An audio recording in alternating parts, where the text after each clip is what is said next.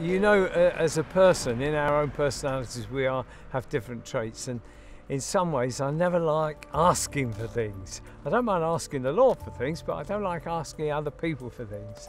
And it so happened that uh, Andrew found a property and we couldn't afford it, but we believed we knew enough people that could lend us short term money to be able to buy it. And we needed £250,000 uh, for it.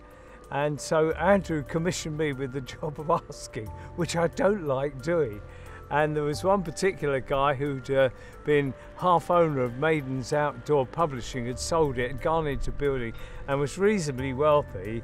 And uh, I thought, well, I'll go and ask him if he'll loan us some money.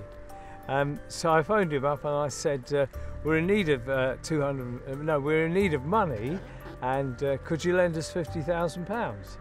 So he said, not a problem, I'll send you a cheque in the post.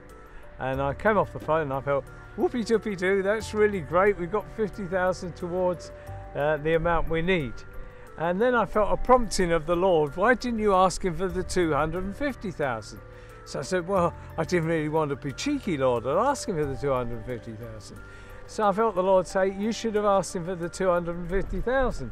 So I said, well, what, what, do I do? He said, phone him back. I said, I can't phone him back, Lord. I've just asked him for 50,000. I can't just phone him back and ask him for 250,000.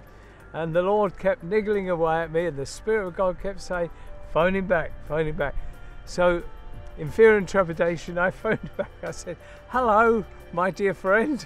Um, I don't suppose you could lend us the whole amount, which is £250,000.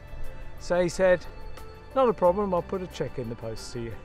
I don't know why I ever doubt the Almighty, because always when He tells me to do something, it always comes up trumps. And I just thank Him that on that day He prompted me, and this good man loaned us the £250,000, and we were able to secure that prop property. That's the goodness of God to us in the land of the living, isn't it?